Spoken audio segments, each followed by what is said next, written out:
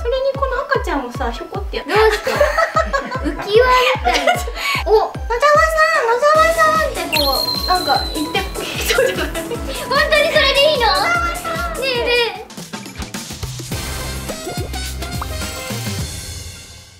声優プレイチャンネル対抗戦！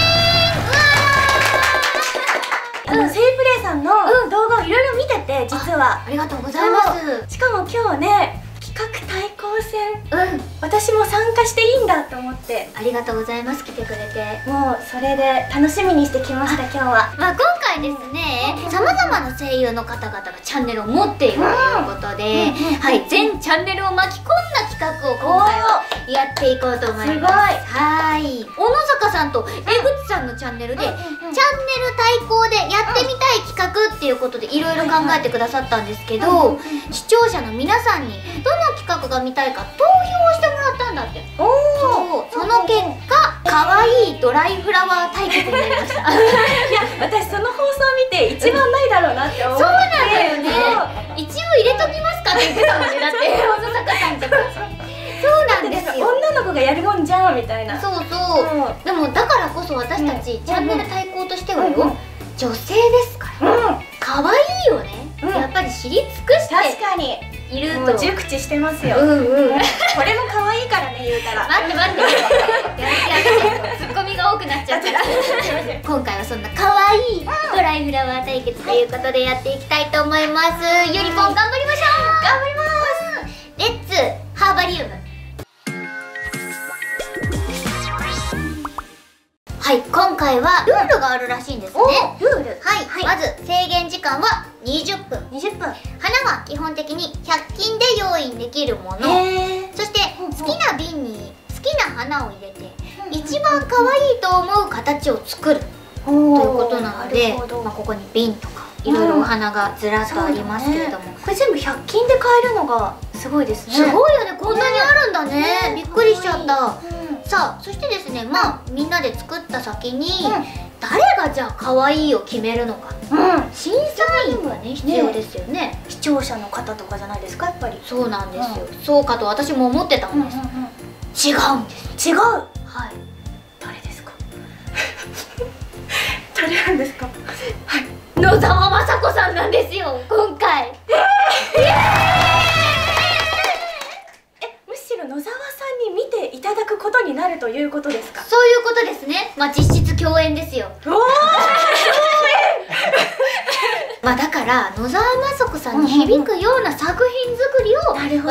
なければならないというところで目標を作っていきましょう。はい。ハーバリウム制作スタートさあ始めるよどの瓶がいい？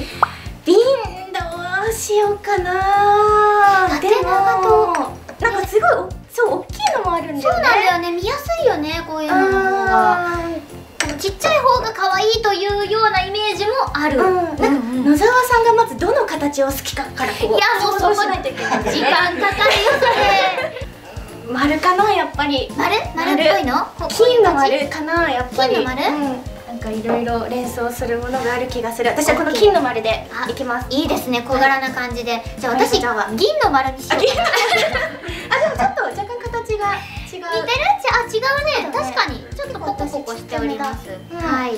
あでも待ってんな形もあるよえ大丈夫？丸で。ちょこっちにしよっか。こっちにする、どっちでもいいんだよどっちでもいいよ。私これ使うよ。早いね。早いね。うんこの木を使うよ。これへ切り離しちゃっていいかなえいこれ松ぼっくりかなんかえ松ぼっくりも可愛い可愛いよね。しかもここあここにもなんかいろんな松ぼっくりと花びらと何これ？何ピーナッツみたいな絶対ピーナッツじゃないけどやっぱりこれから来るのは夏ですから。確かに。あーちょっとフレッシュ。そう。爽やかフルーツも入れてみちゃったりとかして、なんかさかじったように切るの難しくてなんかかけちゃいましたみたいな。可愛いんじゃない？本当？それにこの赤ちゃんもさひょこってやって。なんで？どうして？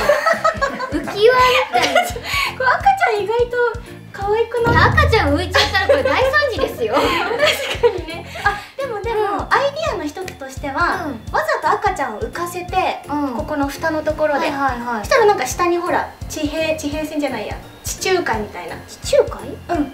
海のな とりあえずじゃあここにこうやって置いておいて浮いたら浮いたでみたいな？で。あでもかっこいいかも。おしゃれじゃない？サーファーの家にありそう。あ本当？じゃあこれおしゃれ。なんか突え本当に？突然なんかさ、可愛さから離れていってる気がするんだけど。おしゃれだよ。違うか。かわそういい入れるだけ入れてみたの。いいね。可愛いでしょ？木取ったんだねいつの間にか。そう赤ちゃんちょっと見て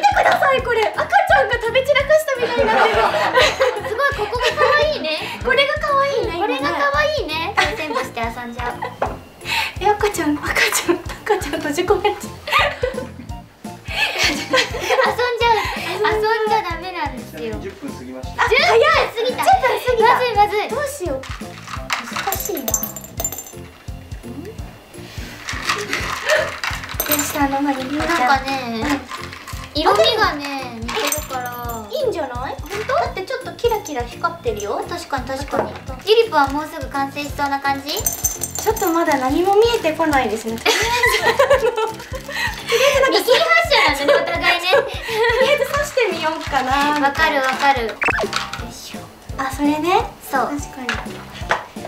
えー、どうしよう。こっからあと5分ですよね。あと5分あと5分でできること。こまずいですね。れは何？こあと5分か。れ何？いや新しいもの見つけちゃったよ。何これ？これ何？え？わかんない。これは何ですか？あれかな？なんか海の中の海藻みたいな？あーなるほど。クラゲ？クラゲ？クラクラゲ？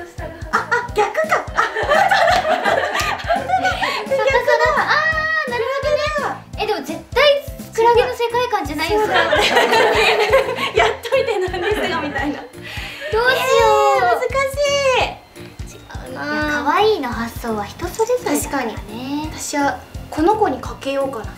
お本野沢さん野沢さんってこうなんか言ってこそうじゃない？当にそれでいいの？ねえねこの子がこれを持っている。えまずいな。3分ですよね3分。いや3分もももう2うないし。分切りました。あああどどどどど青入れてみようかな。あいいね青。えこれ中途半端に終わっちゃったらどうなるの？あなんかそれで終了ちょっと青に触る花。こんくらいかな？おーあでもいいね。綺麗感じになった、終了。完成です。いやもう20分きっちりかかりましたけど、ねちょうどよかったね。いやもうまずさ、うん。想像するところから考えたら20分ってちょっと少なかったね、うん少ない。うんしなんか自分の想像があまりにも思い浮かばなすぎてわかる。難しかった。ちょっとじゃあ作品をご紹介しましょうか。ちょっとこうイメージ的には夏を思わせるような。ちょっとトロピカルなフルーツも入れたりとか、うんあ魚もいるね。そうなんです。お魚も泳いで少しこう、はいはいはい。涼しさを感じるような水色も足してみました、そんなオイルとともにですねキラキラ輝くこのビーズも入れさせてもらいまして、はい。誰かと被ってないといいなと思いながら、あとなんか花がちょっとイソギンチャクに見えるかも。そうでしょうそうでしょう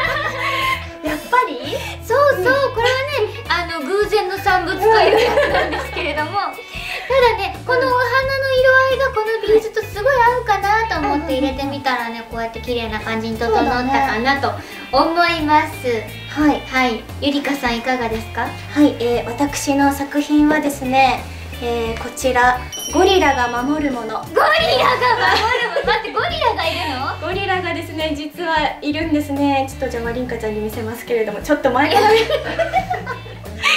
みちょっとになってこちらを見ているようにこれさなってしまったんですけれ見ども。つけた瞬間ちょっとびっくりするじゃん。でもこれ何かポイントとかあるんですか？ポイントは、まあ、ゴリラが守りし卵とあ卵を守ってるんだそうですね。はい。うんうん。あとはやっぱこの周りの花ですかね。うんうん。やっぱぱこのピンクと白の色合いって女子は必ず好きかなという確かに。定番を入れてみました。そうだね。うんピンクは可愛いよね。あとは多分野沢さんが気づいてくれれば野沢さんここだよーって見つけてつけてっていうのでちょっと託しますゴリラに。なるほどアピールねするんだぞ。頑張れよ。で続いてはですね、はい、あの松岡義嗣さんと島崎信長さんのチャンネルの方でチャレンジをされるらしいので、はい、お二人の方もぜひ見ていってください、うん、よろしくお願いします、はい、以上チャンネル対抗企画でした。バイバイ。高評価チャンネル登録お願いします。